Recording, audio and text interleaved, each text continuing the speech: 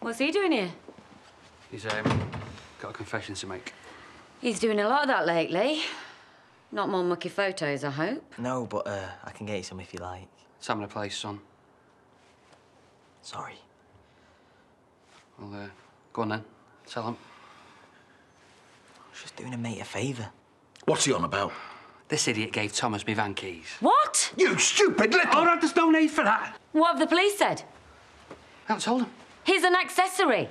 Be fair, your lad nicked my van. He's not ours. Well, the same who's the real victim here. You've lost a van. Lisa's lost a daughter. Yeah, fair point.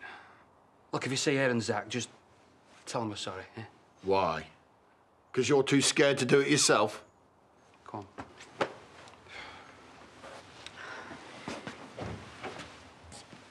What a mess. You can't blame yourself. We gave that lad chance after chance, and look how he's repaid us. He's ruined our lives. Well, I won't say they were ruined. Well, he certainly ruined Lisa's. I mean, if he wants to run away, fine. He's done it before. But Belle, she's only 14.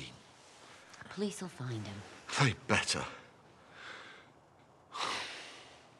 You had him sussed all along, didn't you? Hmm.